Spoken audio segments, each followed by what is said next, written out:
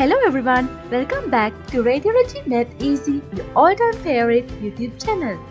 Let's see how to approach a chest X-ray today. Hi, welcome back everyone. Today we are going to start a new series in radiology that how to approach series. So in that series I'm going to describe about uh, approaching chest x-rays, approaching abdominal x-rays and ap- approaching bone x-rays. So those are important things in radiologies before identifying any pathologies. The first topic in our approach series is how to approach chest x-rays. So this is the frontal chest radiograph of skeletally mature female patient. First of all, identification of the patient is important.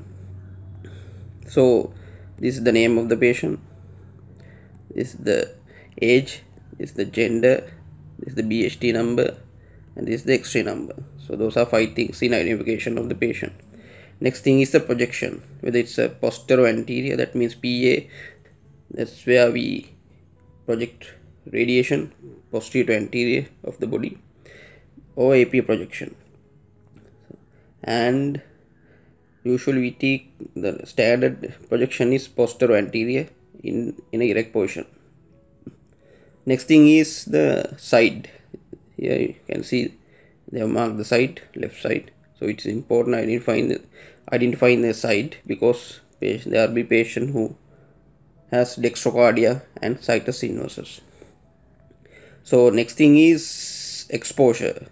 Adequate exposure of the body and adequate exposure of radiation. Those are the two points in exposure.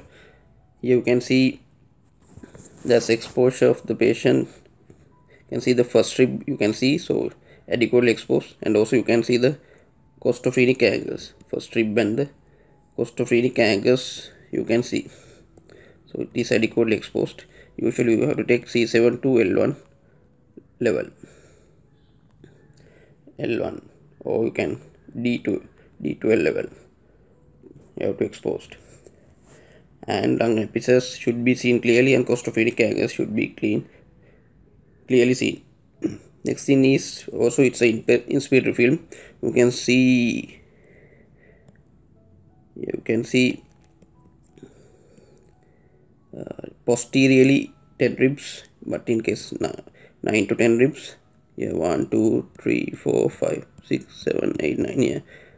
Roughly 9 ribs you can see 9 to 10 you have to see that means it's adequately inspirated view. That's a good x-ray. And also either 9 posterior ribs so 9 to 10 posterior ribs so anteriorly 6 ribs. Here you can see 1 2 3 4 5 6 so it's a adequately exposed film and inspiratory. Next thing is radiation exposure. You have to see the peripheral soft tissues whether it's overexposed or underexposed. If it is underexposed this will be whiter. If it is overexposed this will be darker now the technical method seeing the exposure of radiation is the posterior vertebra posterior lower thoracic vertebra. If they are seen very clearly that means overexposed film under the cardiac shadow. If they are not seen that means underexposed film. If they are faintly seen say adequately exposed film. So though they that means they have they should be seen faintly. So it's a good film. So that finishes the exposure factor. Next thing is the breast shadow. You have to think find out. Here you can see the breast shadow. It's important. There are a patient with mastectomies.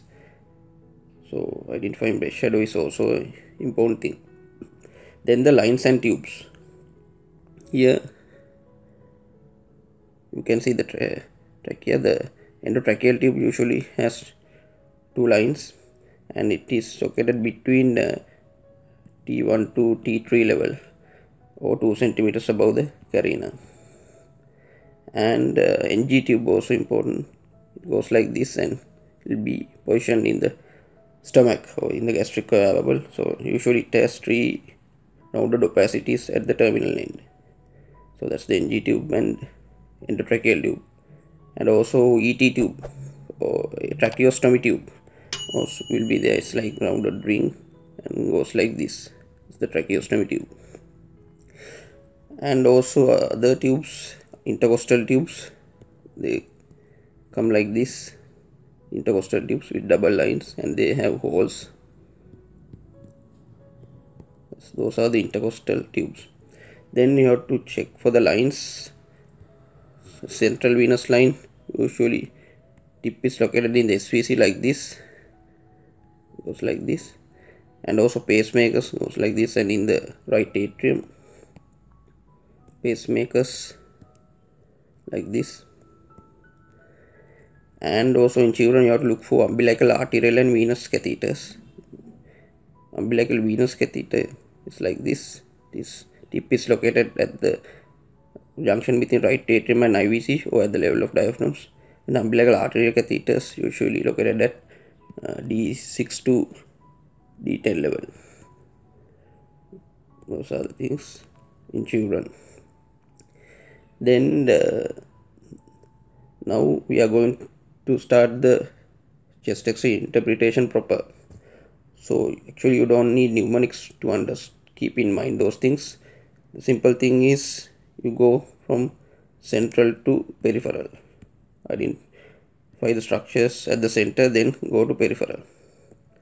First look at the important thing is its trachea. You can see the lucency centrally in the mediastinum central linear lucency. So lower part is slightly shifted to the right side. And this is the carina usually located at D4 level. And these are bronchi right main and left main bronchi and the different next thing is uh, so in, this is the superior mediastinum you have to see the widening of the superior mediastinum there will be masses which cause widening of the superior mediastinum it's also important. Find out the length of the superior mediastinum or the width of the superior mediastinum then next thing is uh, the heart it's important to find out the position and position and shape and size of the heart. Position shape and size. All those three things are important. Position shape and size. And the position is usually the you have to see the the right heart border is one third from the midline and the left heart border is two thirds of the midline so that's the normal position of the heart from the midline. Right heart border one third. Left heart border two third. So the next thing is the size of the heart. The size of the heart uh, measure from the midline the spinous process right? Uh, you have to measure the maximum length of the right heart border and the maximum length of the left heart border and maximum diameter of the chest wall. You add these two things the maximum sizes lengths of the right and left heart border and divided by the maximum size so diameter of the chest wall. It should be less than 50% in adults and less than 60% in children. So that's the size. This is the normal shape of the heart. Can see and also the borders of the heart. Right atrium from the right heart border. Yeah right heart border. Then the inferior border is mainly formed by the right ventricle partly by right uh, left ventricle and the left heart border formed by left ventricle. And this is the left auricle. So those are the borders. Then the other borders you have to look for. So this is the pulmonary trunk so this is the SVC border medial to that ascending aorta. This is the aortic knuckle. And also this is the descending thoracic aorta. And here you will you might see the brachiocephalic trunk. This region. Brachiocephalic vein and the bra- brachiocephalic trunk. Then next thing you have to see is the hila. This, is the left hilum. This is the left hilum. Sorry this is the right hilum. This is the left hilum. The difference between the height of the right and left hilar is about uh, 2 centimeters. Uh, this is the normal hilum. So 2 centimeters the distance hilar structures are usually pulmonary vessels artery vein you see these are pulmonary arteries mainly and lymph nodes are also there. So if there's prominence you have to suspect lymphadenopathies the pulmonary arterial hypertension like this. So this is a normal pul pulmonary hilar vessels. And this is the interlobar artery you can see and uh, now we have to find out the pulmonary vasculature. Here this is the pulmonary normal pulmonary vasculature. Yeah pulmonary vasculature. And uh, now let's talk about the lung parenchyma. Is the lung parenchyma. Periphery there's pleura. You have to look for the pleural thickenings. So horizontal fissure goes like this oblique fissures are like that. And uh, you have to see whether there are molutions or pacifications is in the lung parenchyma. So that's the lung parenchyma. And in pneumothorax's lung will be collapsed peripheral vascular margins are not there. In pleural effusions the costophrenic angles will be obliterated these are cardiophrenic angles. So that's what you have to look for the lung parenchyma. Then next thing is the diaphragms. You can see the diaphragm right and left hemi diaphragm. The difference between height of right and left hemi diaphragm is about 3 centimeters. Right diaphragm is higher 3 centimeters than left one. The one. So to see right and left hemi diaphragms their position. Other thing is the gastric air bubble you have to look for. Here you can see. Gastric air bubble that's a normal position. It is important in identifying sited in inversions and uh, calicia cardias.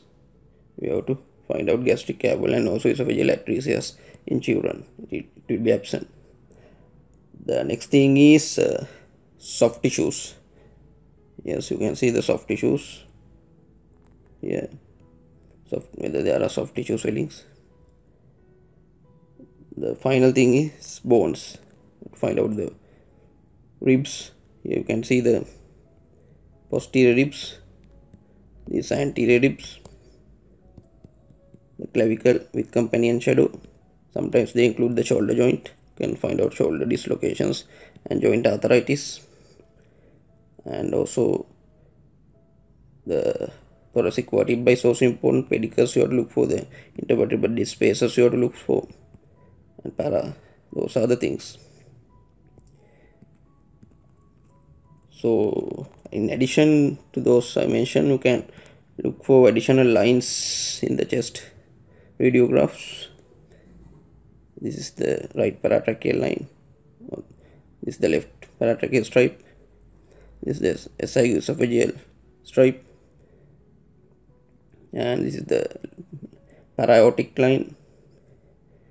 So and these are para right paraspinal line and left paraspinal lines. So in mass lesions these there will be swellings of these lines. So lines and deviation of the recesses. So this is esophageal recess. So those are the things you have to look for. So that concludes how to approach in chest x-rays and please subscribe our youtube channel in how to approach series and you will get notifications of our new videos thank you everyone Thanks for watching. Please like and subscribe for more videos like this.